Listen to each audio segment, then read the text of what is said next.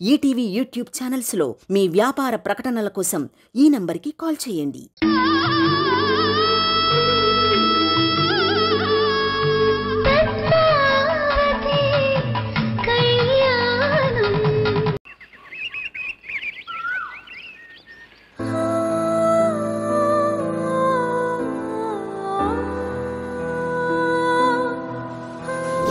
పద్మావతి పద్మావతి చాలా తెలివిగా బావగారి మీదికి కేసు మళ్ళించి ఆయన్ని జైలుకి వెళ్ళేలా చేసింది.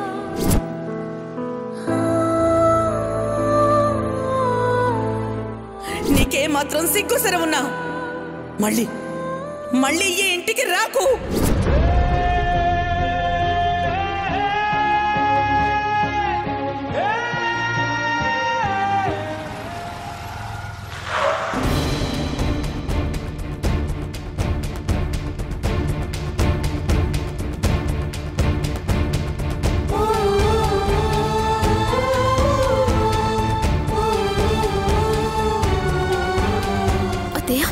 నందిని? నందిని? నీ ఆరోగ్యం ఎలా ఉంది నందిని? ఆరోగ్యం బాగానే ఉంది అత్తయ్య. కానీ మనసి చాలా బరువుగా ఉంది. నువ్వేం దిగులు పడకు నందిని. ఆ భారాన్ని త్వరలోనే దించేస్తాను. నిన్ను వంశీని ఒకటి చేస్తాను. అసలు మేము ఒకటవుతామంటారా అత్తయ్య? అవుతారు నందిని. ఖచ్చితంగా అవుతారు. ఎప్పుడూ చీకటే ఉండదు కదా. పగలు వస్తుంది నీ దిగులు పోతుంది. ధైర్యంగా ఉండు.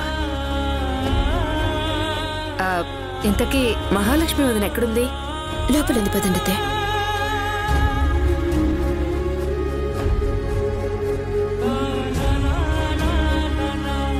వదినా.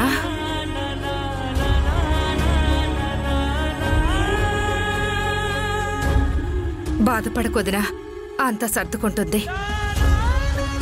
ఇంకా ఏం సర్దుకుంటుందొదినా అయిపోయింది. ఈ కుటుంబం అంతా ఆయన లేని అనాథ అయిపోయింది.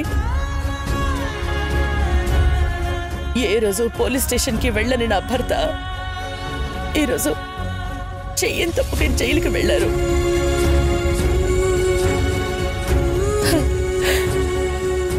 అందరికీ న్యాయం చెప్పే ఆయన ఈరోజు ఈరోజు అన్యాయంగా శిక్ష అనుభవిస్తున్నారు. ఏం తిన్నారో ఏం తినలేదో అని. చాలా చాలా దిగులుగా ఉంది వదినా. దిగులేం పడకండి వదినా. మంచి వాళ్ళకి ఆ దేవుడు ఎప్పుడూ అన్యాయం చేయడు. చేస్తాడు వదినా. ఆ దేవుడు మంచి వాళ్ళకే అన్యాయం చేస్తాడు. అందుకే బంగారం లాంటి నా భర్తని జైలు పాలు చేసి ఆ పద్మావతిని మాత్రం వదిలేశాడు. నమ్మించి గొంతులు కోసే వాళ్ళ గురించి వినడమే గాని ఎప్పుడూ చూడలేదు అనుకునేదన్నదినా. కానీ అలాంటి వ్యక్తి నాతోనే నా పక్కనే ఉందని గుర్తించలేకపోయాను.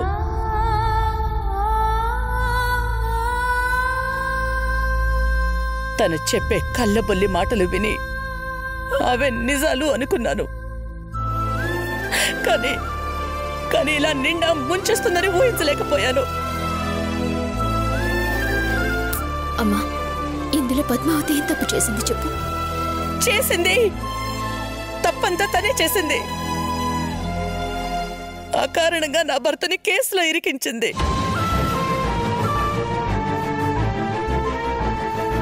అలా అని ఎందుకు అనుకుంటున్నావు వదినా? అన్నయ్యని ఇంకెవరైనా ఇరికించొచ్చు కదా? లేదు. లేదు. ఖచ్చితంగా ఆ పద్మావతే కావాలని ఇలా చేసింది. నేనప్పటికీ తన దగ్గరికి వెళ్ళి చిలక్కి చెప్పినట్టు చెప్పాను. సరే అక్క మాట కూడా ఇచ్చింది. కానీ చివరి నిమిషంలో తప్పించుకోవడానికి నిందని ఆయన మీదకి మళ్ళించింది.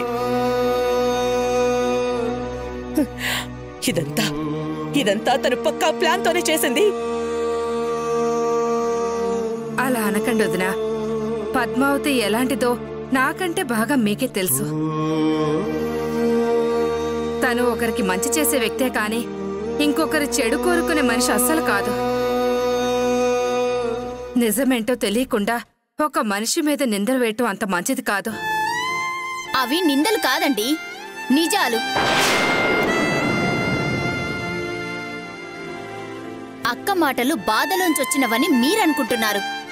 హ, కానీ అవి మోసపోయిన గుండెల్లోంచొచ్చిన అగ్నిజ్వాలలని నేననుకుంటున్నా.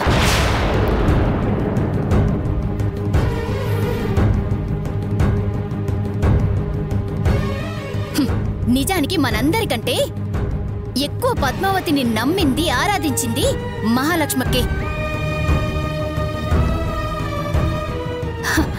కానీ ఈరోజు తననే ఇలా మోసం చేసింది. నిజంగానే తను మోసం చేయకుండా ఉంటే సంపత్ని చంపిన ఆయుధాన్ని కోర్టులో ప్రొడ్యూస్ చేసుండేది. కానీ అలా చేయలేదు. ఎందుకు? ఆ ఆయుధాన్ని బావగారు దాయటం ఒక్క పద్మావతికి మాత్రమే తెలుసు.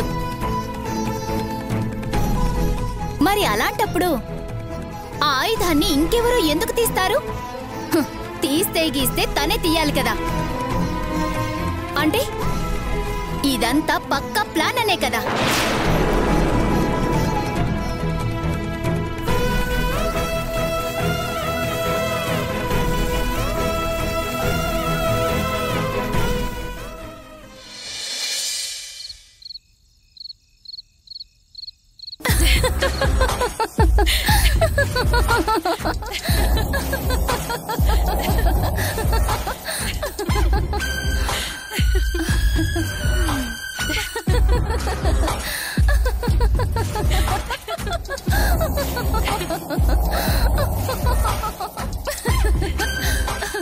అమ్మా ఇది ఇది ఆనందం.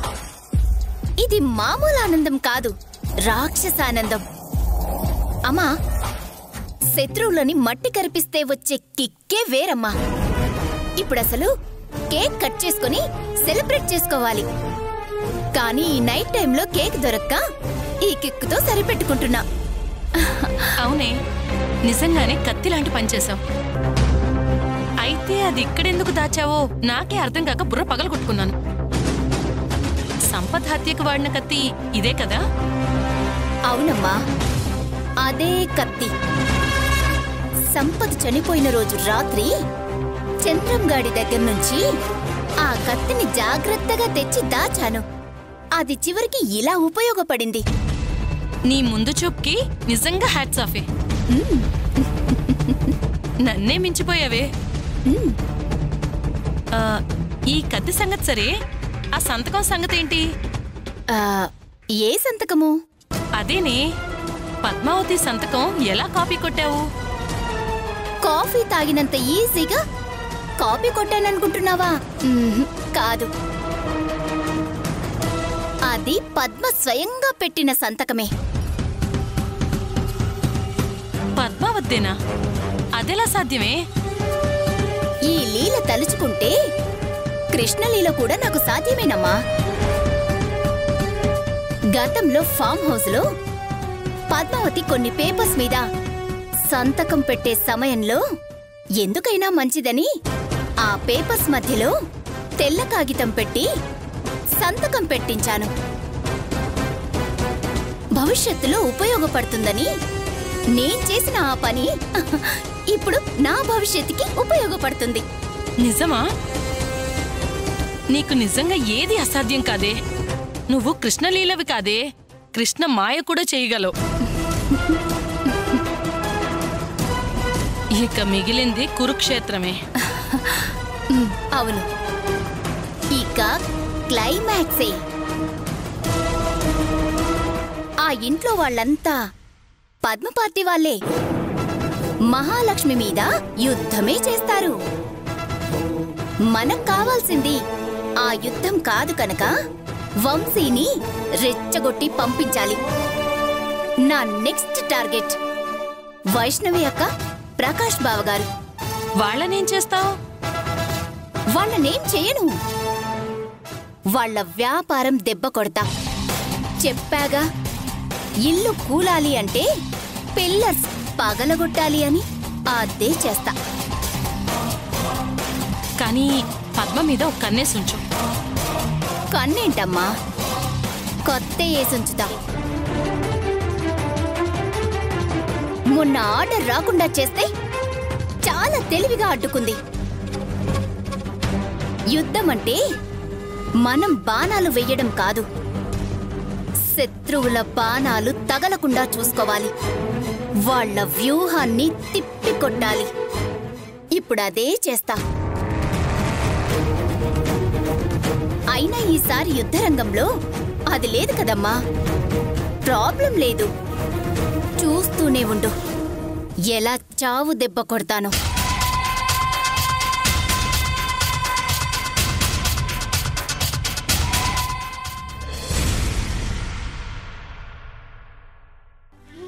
ఏంటి ఆదిత్య నువ్వు చెప్పేది? అవును పద్మావతి. ఇప్పట్లో అమ్మ నిన్ను క్షమించేలా కనిపించట్లేదు. అన్నయ్యని అలా జైలుకి పంపించినందుకు నీ మీద చాలా కోపంగా ఉంది. మళ్ళీ అన్నయ్యని బయటికి తీసుకొచ్చి అసలు నిజం రాబడితేనే గాని అమ్మ మళ్ళీ నిన్ను మునుపట్లా చూడదు. తెలుసు ఆదిత్య. అందుకనే నేను అదే పనిలో ఉన్నాను. ఆ నిజమేంటో మనం తెలుసుకునేంత వరకు మీరెవ్వరూ నా ప్రస్తావన అక్క దగ్గర తీసుకురాకండి. కానీ తీసుకురాకుండా ఎలా ఉంటాం పద్మావతి? నువ్వు ఇక్కడే ఉంటూ పది మందికి తెలిస్తే ఎలా ఉంటుంది చెప్పు? ఎలా ఉంటుంది? ఒకవేళ జడ్జి గారు నాకు శిక్ష విధించి ఉన్నా నేను ఇంట్లో ఉండేదాన్ని కాదు కదా. అది వేరు ఇది వేరు పద్మావతి. ఆదిత్య ప్లీజ్. నువ్వు నా గురించి ఆలోచించటం ఆపి ముందు బావగారిని ఎలా బయటకు తీసుకురావాలో ఆలోచించు. ఆ నింద అస్సలు బావగారి మీదకి రాకూడదు అనుకున్నాను. అందుకే దాన్ని నేను చేశానని ఒప్పుకొని స్టేషన్కి కూడా వెళ్ళాను. కానీ నా త్యాగం అంతా వృధా అయిపోయింది. నేను ఏదైతే జరగకూడదు అనుకున్నానో ఇప్పుడు అదే జరిగింది. ఇన్ని రోజులు బావగారి దృష్టిలో గొప్పగా ఉండేదాన్ని. కానీ ఇప్పుడు ఆయన దృష్టిలో నేను ఒక స్వార్థపరురాలనైపోయాను. బావగారిని కలిసి మనస్ఫూర్తిగా క్షమాపణ చెప్పుకునేంత వరకు నా మనసు కుదుట పడేలా లేదు. నేను ఆల్రెడీ అన్నయ్యని కలవడానికి ఏర్పాట్లు చేశాను పద్మావతి. కాకపోతే కార్తిక్ గారు వస్తానన్నారు. ఆయనతో మాట్లాడాక వెళ్తాను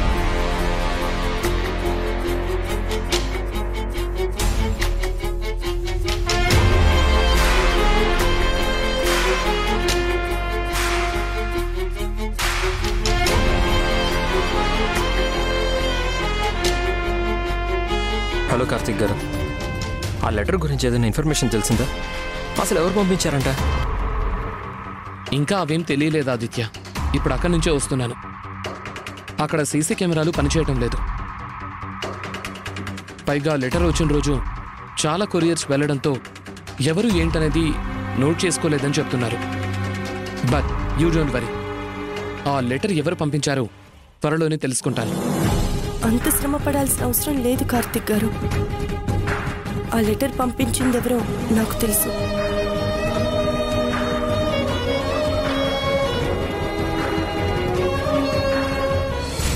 తెలుసా? ఎవరు పద్మావతి? ఇంకెవరు? ఆ భ్రమరాంబిక మనుషులే. మీరంత కాన్ఫిడెంట్గా ఉన్నప్పుడు మరి కేసు పెట్టొచ్చు కదా? వద్దు కార్తిక్ గారు. నిజంగా వాళ్ళే పంపించినా నేను కేసు పెట్టలేను. ఒకవేళ కేసు పెడితే నందిని జీవితం ఇంకా పాడైపోయే ప్రమాదం ఉంది. మళ్ళీ నా కారణంగా తనని ఇంకా ఇంకా ద్వేషిస్తారు. ఇప్పటికే వంశీ పగతో రగిలిపోతున్నాడు. ఇలాంటి టైంలో అలా చేయటం అంత మంచి నిర్ణయం కాదు. మరి ఇప్పుడు ఏం చేద్దామంటారు? బావగారిని బయటికి తీసుకురావాలి అంటే ముందు మనం మనకి ఉన్న ఆధారాల్ని కాపాడుకోవాలి. లేదంటే బావగారిని నిర్దోషి అని నిరూపించుకోలేము. హాస్పిటల్ దగ్గర సెక్యూరిటీ పెంచుదామా పద్మావతి? ఆదిత్య వాళ్ళు చాలా తెలివిగా ప్లాన్ చేస్తున్నారు. మనము అంతే తెలివిగా వాళ్ళ ప్లాన్స్ని తిప్పి కొట్టాలి అంటే నేను చెప్పినట్టు చేయండి.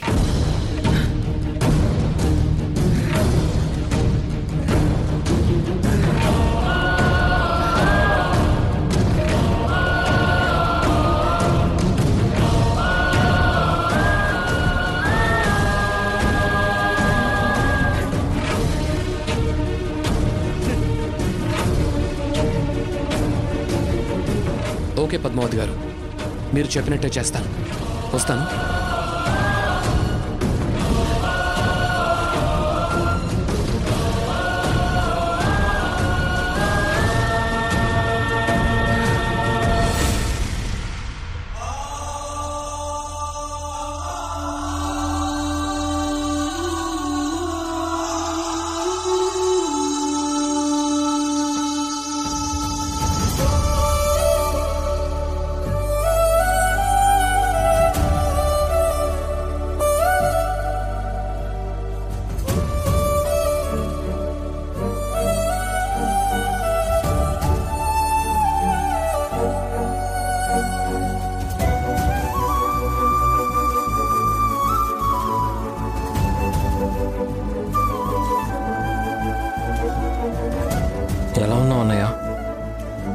సంతోషంగా ఉండడానికి ఇదేం మన ఇల్లు కాదు కదా ఆదిత్య. వస్తారు బావగారు. తప్పకుండా మీరు ఇంటికి తిరిగి వస్తారు వచ్చేలా నేను చేస్తాను. ఆదిత్య నాకు ఎవరి సహాయం అక్కర్లేదని నీ భార్యకు చెప్పు.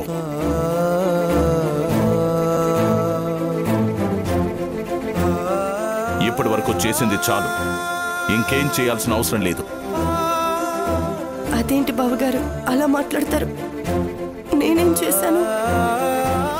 నువ్వేం చేశావో నీ కళ్ళ ముందే కనిపిస్తుంది కదా. ఇంకా ప్రత్యేకించి చెప్పడం ఎందుకు?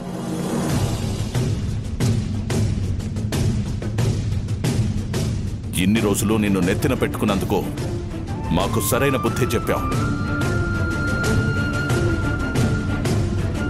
కనీసం ఇప్పటి నుంచైనా ఎవరిని పడితే వాళ్ళని గుడ్డిగా నమ్మకూడదని నిరూపించినందుకు.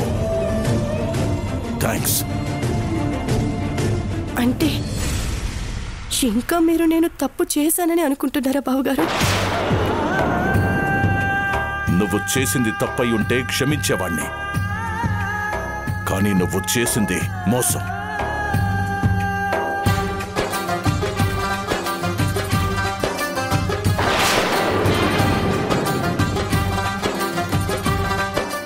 లేదు బావగారు నిజంగా నేను మిమ్మల్ని మోసం చేయలేదు. అసలు చివరి నిమిషంలో ఆ పేపర్ ఎలా వచ్చిందో కూడా నాకు తెలియదని చెప్పాను కదా.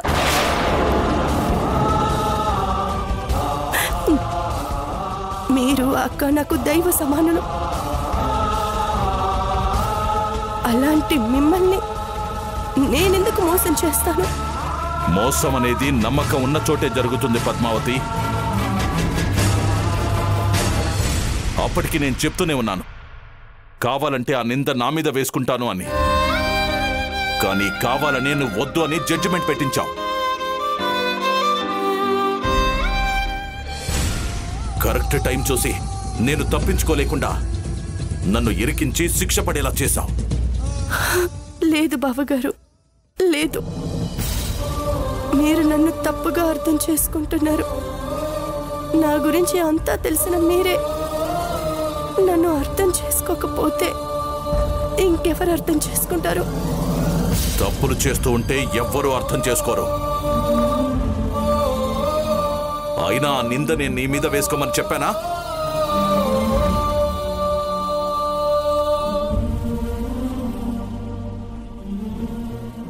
నువ్వే నిందను ఒప్పుకొని మా అందరి ముందు గొప్పదాని అవ్వాలని ప్రయత్నించి ఇప్పుడు ఇలా మోసం చేశావు. మళ్ళీ వచ్చి సంజాయిషి చెప్పుకుంటున్నావు. అవసరం లేదు. నువ్వు నాకేం సంజాయిషి చెప్పుకోవాల్సిన అవసరం లేదు.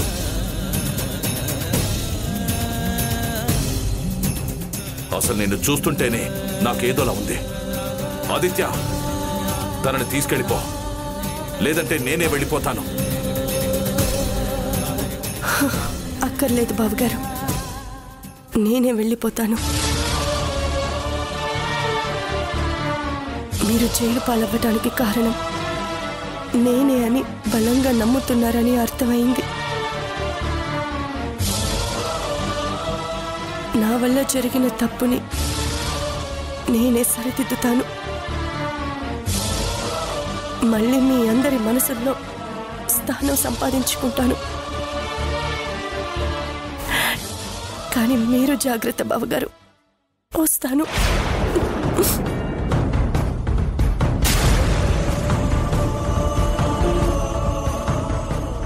నువ్వు నా తోడుకోడలివి మాత్రమే కాదు లీలా. నాకు తోడబుట్టిన చెల్లెలివి. నేనే కాదక్కా. మనిషి విలువ బంధాల విలువ తెలిసిన ఎవ్వరైనా ఇలాగే తల్లడిల్లిపోతారు. అంతేగాని అమ్మా నాన్న లేని ఆ పద్మావతి లాంటి వాళ్ళకు ఏం తెలుస్తుంది? బంధం విలువ తెలిసుంటే బావగారిని ఎందుకు జైలుకు వెళ్ళేలా చేస్తుంది? అనుబంధాలు ఆప్యాయతల గురించి అవగాహన ఉన్నదే అయితే ఎందుకు ఇంతమందిని బాధ పెడుతుంది? అందుకే అంటారక్క అర్హత లేని వాళ్ళకి అధికారమిస్తే అందలమెక్కి కూర్చుంటారు అని.